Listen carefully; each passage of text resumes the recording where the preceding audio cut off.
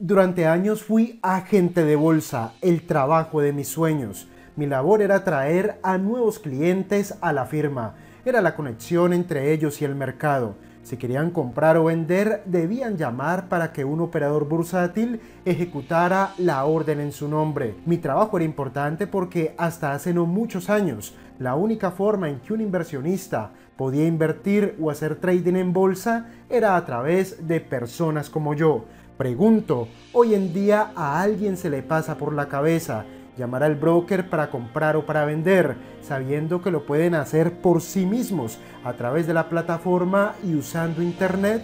Por supuesto que no. Esto lo que quiere decir es que hace mucho tiempo el agente de bolsa pasó a realizar una labor secundaria que nadie necesita. La tecnología hace mucho tiempo los ha reemplazado.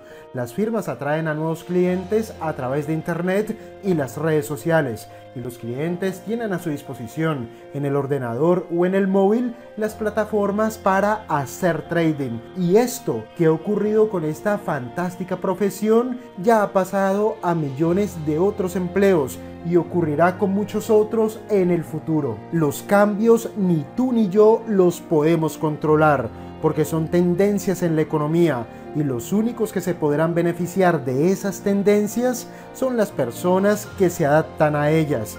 Paradójicamente, hoy yo vivo el Internet, una herramienta a la que si no me hubiese adaptado habría destruido mi carrera profesional. Esto fue para mí un cambio increíble, un cambio de paradigma, de mentalidad, una adaptación brutal para usar a mi favor herramientas que son gratis y que me permiten monetizar mi talento. La tecnología no te pedirá permiso. Si tú no te pones listo, simplemente te echará hacia un lado como un mueble viejo que nadie quiere usar.